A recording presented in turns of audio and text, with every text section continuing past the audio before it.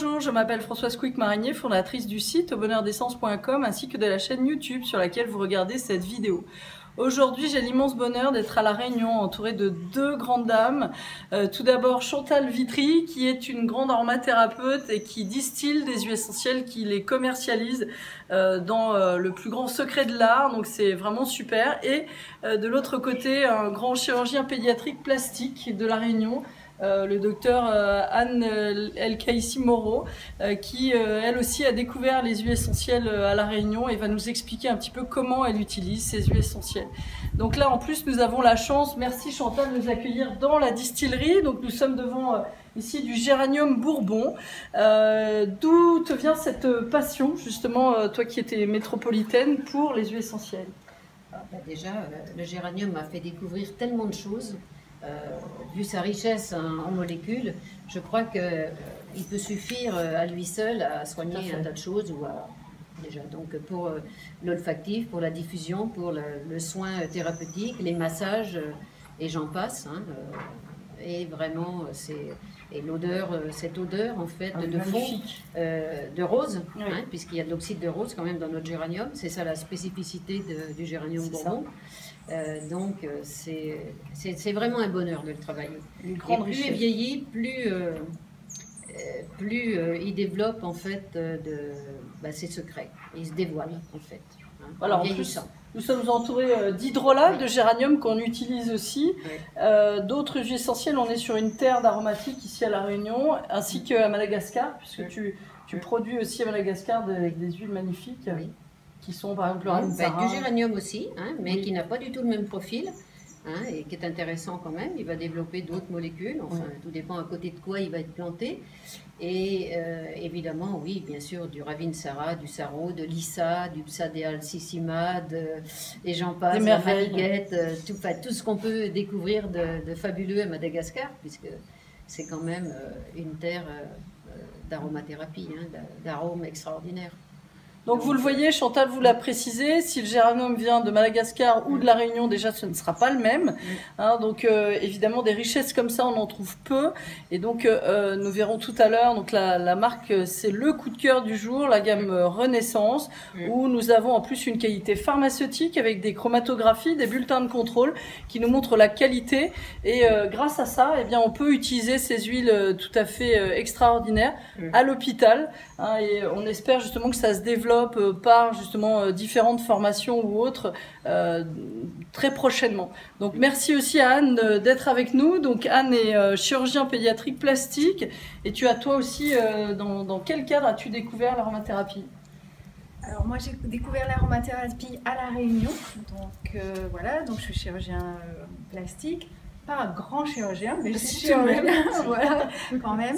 Euh, et c'est vrai qu'on pourrait se demander pour un chirurgien quel est l'intérêt de l'aromathérapie. Mais oui, il y a plusieurs intérêts. Déjà pour les plaies cicatrisation, voilà. Euh, faire cicatriser une plaie, avoir le moins de séquelles possible, c'est-à-dire avoir une bonne euh, qualité de la cicatrice. Surtout chez un enfant, pour pas que la cicatrice. Voilà, surtout que chez les enfants, ils font des, des cicatrices très inflammatoires. Donc avec les plantes, l'aromathérapie, j'arrive à avoir des cicatrices moins inflammatoires. Euh, donc qui sont moins pathologiques euh, à, la longue. Euh, aussi antiseptiques, on arrive à avoir des bons antiseptiques ah avec, bien sûr. avec les huiles essentielles. Et aussi, ça, quand on est dans le soin, on va faire un pansement chez un petit enfant qui va avoir peur, ça va pouvoir diminuer, faire diminuer le stress chez l'enfant. Donc on, on, on, gagne tout à utiliser l'aromathérapie, même pour un chirurgien. Formidable. Quelles sont les huiles que tu utilises en priorité? Alors, encore une fois, ce que je disais, j'ai découvert à La Réunion. Moi, j'utilise beaucoup le géranium. Le géranium que tu bois aussi Oui, que je bois tous les jours. voilà. Euh, bah, parce que pour ses qualités, comme disait Chantal, euh, antiseptique, cicatrisante, euh, aussi hémostatique, anti-inflammatoire. en plus, voilà c'est pas pour les plaies, mais c'est répulsif Tout à fait. des, moustiques. Euh, voilà. Donc chez les enfants, on ne peut pas utiliser toutes les huiles essentielles. Le géranium, il n'y a pas de souci. J'utilise la lavande officinale aussi. J'utilise beaucoup les hydrolats parce que là, il n'y a pas de restriction euh, pour les hydrolats. C'est vraiment très chouette l'hydrolathérapie. Justement, on va avoir une solubilité dans l'eau pour, euh, pour mettre dans un bain ou autre. Et puis, euh, on a quand même moins de molécules aromatiques qui sont plutôt solubles dans l'eau. Donc, ce sera moins dangereux aussi par rapport à certaines huiles. en plus, tu vas être diplômé justement d'un DU d'aromathérapie clinique. J'en suis sûre. Euh, et, justement, quelle est la demande de tes confrères par rapport à ça euh, Est-ce que tu sens que la demande est là? Oui, la demande est là. Alors, euh, bah, moi, je travaille au CHU Félix Guyon, site nord, parce qu'à La Réunion, il y, a, deux sites. Vu même au site sud, on a beaucoup de demandes. Alors là, vraiment, c'est tout le monde. C'est-à-dire que ça va de l'aide-soignant à qui veut les utiliser justement pour détendre les patients, aux infirmières, à mes confrères, médecins. Chirurgien aussi, on demande des, conseils, surtout dans les plaies et cicatrisations. Donc je pense que de plus en plus, les gens, euh, en connaissant les huiles essentielles, euh, et les bienfaits s'y intéressent et ça c'est très très bien. Et puis tu, tu, travailles vraiment en collaboration avec Chantal, vous avez des résultats toutes les deux extraordinaires aussi sur des cicatrisations de plaies, de plaies cancéreuses qui vont justement se, se refermer. Enfin, euh, c'est cette synergie entre la plante, la terre, mais aussi le spécialiste, parce qu'on a oublié de dire que que Chantal était euh, elle aussi une, une, grande biologiste, donc on ne s'invente pas comme ça justement distillateur ou autre euh, sous prétexte qu'on a du géranium dans son jardin. Tout à fait. Parce que ça c'est vraiment très important, cette connaissance scientifique. Et grâce à ça, eh bien, on n'est pas sur euh, une, une utilisation euh, qui va être un peu touristique ou autre, mais quelque chose de très pharmaceutique. Donc merci aussi Chantal pour ça. On en a besoin. se soigner autrement, c'est possible, de manière complémentaire aussi.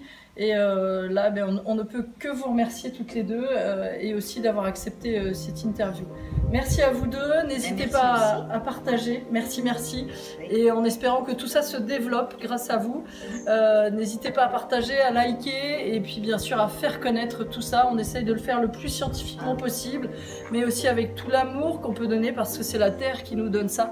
Donc ce sera très important. Je vous dis à très bientôt pour de nouvelles aventures aromatiques. Peut-être pas dans ce paradis, mais à très bientôt et bien aromatiquement.